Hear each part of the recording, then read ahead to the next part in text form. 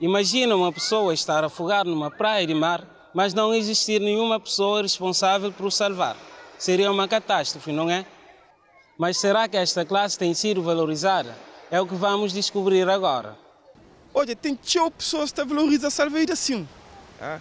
Então, tem estado, tem pessoas que estão contra comigo, como mim, tem tio tempo de trabalho na área de mar.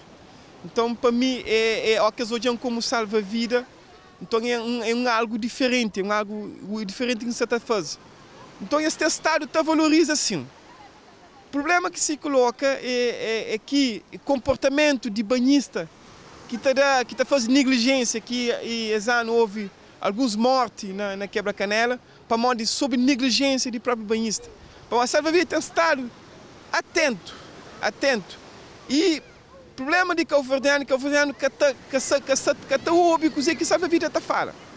Para modo, se um minha colega que tem 20 anos fala com salva-vida, ah, fala com banhista, é para modo que tem nível de experiência superior, então não deve obedecer.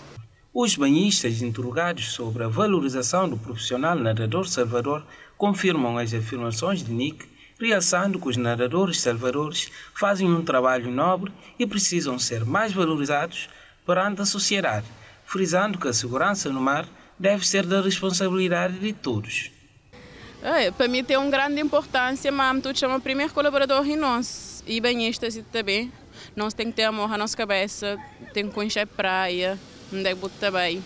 Se você saber nada, que eu vou entrar na mar, ou pelo menos para o pé, vou ficar ali na orelha. E nada do observador também é importante, é estar sempre ciente desse trabalho.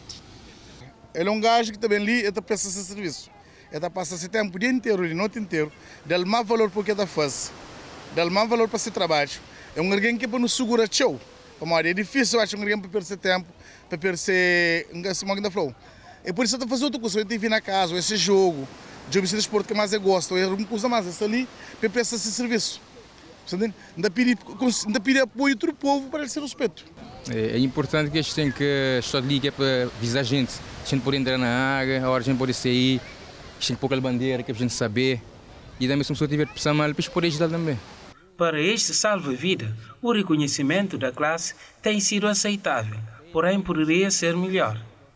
O mesmo considera que a valorização tem de partir também dos próprios profissionais que têm de mudar suas mentalidades. Salva-vida, mas inova.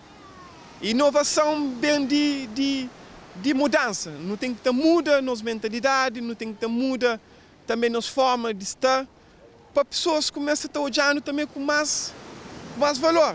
Pô, salva-vida que só apanha plancha, apanha tropedo e, e cai na água, nada. Não tem ter parte pedagógico, não tem ter parte também de frieza e calma, de saber resposta que não te dá para para banhista que fica tudo tipo atormentado para morrer. Normalmente a parte pedagógica é mais importante também. Entretanto, mostra-se honrado em fazer parte do elenco dos nadadores salvadores de vida, felicitando a todos os seus colegas pelo memorável dia e exorta a responsabilidade de todos para uma maior segurança nas praias.